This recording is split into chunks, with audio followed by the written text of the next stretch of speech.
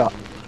ミスターブラザーズ原宿セカンドの鈴木翔太です。今日は、えーと、3日間のコーディネートを紹介していきたいと思います。まずこれ出勤ですね。うんと普段はもう毎日バイクで出勤してるので晴れてる日は全部バイクですね。ハーレー・ダビッドソンのヘリテージっていうでかいのがもともと好きだったんででかいのでちょっと最近は地下のスタイルっぽくバイクをカスタムして乗ってます。でまあここ止めて。で出勤って感じですね。でえっ、ー、とこここれが、えーと、ショットのライダースを着てます。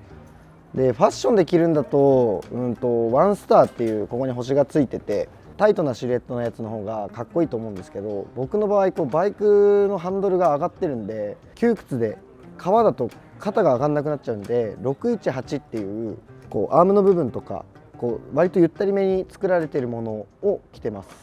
でライダース形はこれあのー、まあ一番王道なタイプっていうかポケットの付き方とかも昔からあるデザインで、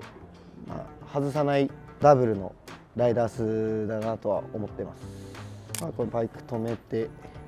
でうんとここですね。えっ、ー、とこのパンツが、えーと、デラックスウェアっていうところのブランドでデニムの生地にはなるんですけど割と薄手で形はチノとペインターのいいとこ取りみたいな形してて、まあ、ペインターみたいにこういろいろついてなくてそこはシンプルにチノっぽい。けどシルエットは立体で作ってるんで割とシルエット綺麗に見えやすい。お尻のラインとか結構綺麗ですね。直営とかがないのでネットでもうサイズ感分かってるからネットで買いました。ブーツはレッドウィングの1155っていうペコスになるんですけどペコスの中でもソールがクレープじゃなくてかかとのヒールのついてるものでちょっとこうウエスタン寄りのブーツの長さも長くて固めのソールがついてるものを選びました。これは廃盤なんで中古屋さんが西区にホープスモアっていうブーツ屋さんがあるんでそこでもうほぼ新品みたいなの見つけて買ってきました。で、えー、とこのまま入ってまずヘルメットいつも自分のところにある棚にヘルメットこれは TT&Co っていうところのヘルメットですね。ハーフです。ここ上着かけてでこのスウェットは、えーと、フェローズっていうメーカーのスウェットになるんですけどスリーブがラグランっていう肩に普通だとここにこう切れ目がついて袖がつくんですけどじゃなくて襟元からこう出ててもともとはその腕とかこう負傷した時でも脱ぎ脱いだり着たりしやすいように作られた袖なんで、うん、と動きやすいし、うん、着たり脱いだりもしやすいんで割と気に入って着てますね。直営店で買ったんですけどスマートクロージングストアって原宿セカンドからすぐのところにあります。でまず、まあ、着いたら髪結んでから準備していきます。はいじゃあ2日目いきます。ピーコートがこれはあの地元北海道の古着屋さんで買ったんですけど最近のピーコートって大体8ボタンってここのボタンがなくなってるんですけど1000ボタンで10個。でここまで締めれる、まあ、昔からの形海軍用の形しててたまたま行ってめちゃめちゃ安く見つけたんで買っちゃいました。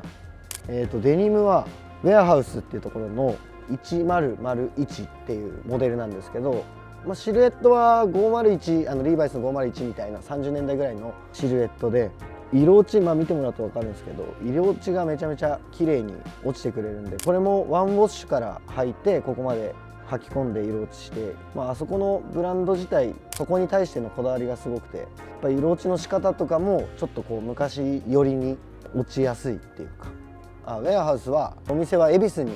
ありますね一番近いところだと。まあバイク乗る時ちょっと大変なんでバイク乗らない日にこういう格好することが多いです。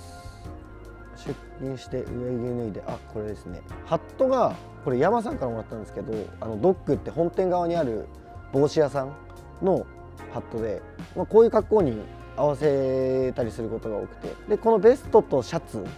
はフリーホイラーズっていうブランドがあってそれもまあ本店側に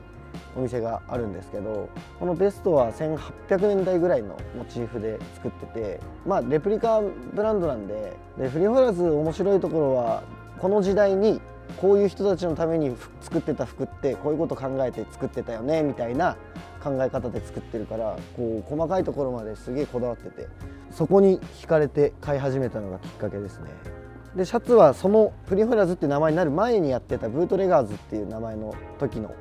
やつでまあそその時からあんまりほぼ変わってないんですけどまあその時のシャンブレーシャツです。で今ちょっと見えてないんですけどベルトもウエスタンのベルト欲しくて探してたんですけどなんか思い立って作作ったっていうか自分であのスタッズ打ってみてこれも自分でまあこのベルトの形に切った革買ってきてで穴は自分で開けてこれもバックルも自分で選んででこれ全部自分で打ちました。まあまあ時間かかったですね。まあなんか愛着湧いていいかなと思ってます。じゃあ3日目。今日ですね。今日はチノパンネルシャツジャケットや N1 ですね。全部3つともそうなんですけどまあ王道どころのアメカジって感じの服装をまあ普段からしています。このジャケットはバズリクソンズの N1 海軍のデッキジャケットですね。まあでも割とこう形とかも好きで着てます。このジャケットは北海道の草園っていうアメカジのうんとセレクトがあるんですけど、まあ、さっきからちょちょいちょい話に出てるその北海道の店って大体そこなんですけど草園っていうお店で、えー、買いました。パンツはクッシュマンってもともと岐阜の方にあるんですけどチノパン軍パンですね。のブラックシャンブレーあのごま塩みたいな柄のやつ。これも横から見たりした時のシルエットめちゃめちゃ完璧で気に入ってます。スニーカーがコンバースのチャック・テイラーのあの全部レーザーのやつ履いてます。知り合いが仕入れててそれ買いました。でまあ髪結んだりいつも準備は一緒なんですけど、まあ、まず上着脱いで。これシャツは、えーと、さっきのデニムと一緒でウェアハウスっていうところのシャツです、まあ、ネルシャツはまあアメカジにおいてはまあだいぶ王道なんでこの色味が俺結構好きで、まあ、ちょっと渋みもありポップさもありみたいな。ネルシャツ結構柄派手なんですけど、まあ、それはまあもともと汚れ目立ちづらいようにってチェック柄が多いんですけどその中でもこうチェックの柄もいろいろ種類があったりとかする中で割と一番気に入ってるのはこの色かなっていう。紙結んで予約表を見てまあ、ここから1日始まりますね。まず使う前にバリカンとかきれいにしてで1日始まるって感じですね。でまあ僕はアメカジを着てて、まあ、オーバーとかには全然着てないからちょっとやっぱり他の人と違うスタイルでやってるかなとは思うんですけど他のスタッフのファッションチェックっていうかファッション紹介コーデ紹介とかあると思うんで楽しみにしててください。ご視聴ありがとうございました。